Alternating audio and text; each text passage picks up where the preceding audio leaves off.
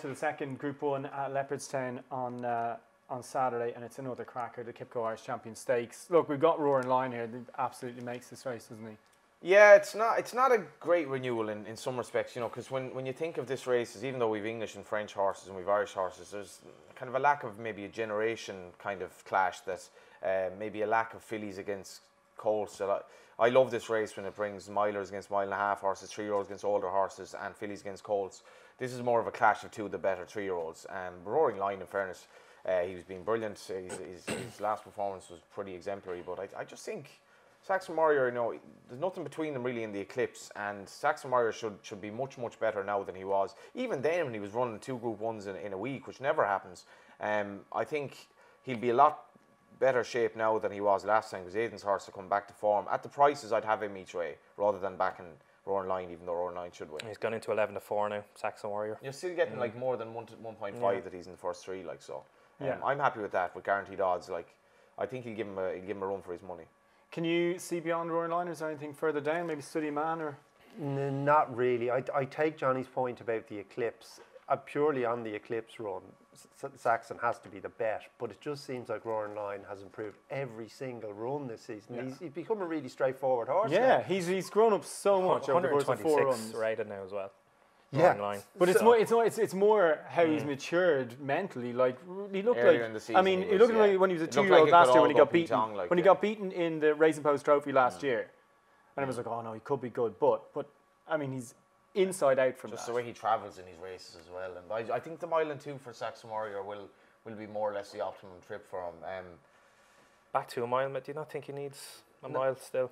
Mile and two will be absolutely. I think that'll be next to perfect. I don't mm. think he quite gets a mile and a half, but um, the only thing about these races, Aidan has a good tactical edge on the Raiders here. Like it's kind of like the Dubs taking on someone in Croke Park. They do they do get a few points advantage. Like and, and Aidan will remember him taking on Sea The Stars here and trying everything to get a beat with Fame and Glory. Roaring Lion probably yeah. isn't Sea The Stars. Watched um, that again yesterday. Fame and yeah. Glory and Mastercraftsman second and third. Ah. Ambulance fourth. Just like and what, he still what, what can't it up.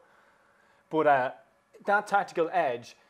Do some people fall into the trap of assuming Ballydoyle are just going to go off a million at the start and they get they, they get kind of tricked by it. But then, as well, we've seen over the course of the year so far, indeed. Ballydoyle have put on slow early pace in lots of these races. I think it possibly possibly Deauville.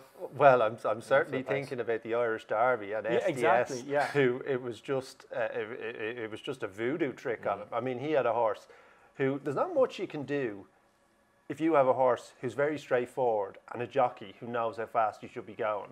And the SDS, who is a very good jockey, just somehow got it into his head, oh, I'm in front here on a horse who likes to make the running and is travelling away fine, but oh, I shouldn't be in front because Ballydoyle here. So Ballydoyle didn't know what they were going to do. Yeah. He knows that we know that they know. Just forget all this stuff. The line is a very straightforward horse. You can position him anywhere you want in the race, and there's not much they can do. That that That's the point. It's not really going to make an awful lot of difference in no. fairness because he a strong one mile and a half will just make him travel away. He has plenty of toe, like so. It's not like they're trying to expose some chink in him, but they'll run it to suit Saxon Warrior, whatever that may be. And I'm intrigued as to who tracks who of the pair. Yeah, so that, that, that, that's like to Sea The Stars sort of fame and glory thing when they did a bit of a, yeah. you know, a, a, flip of tactics.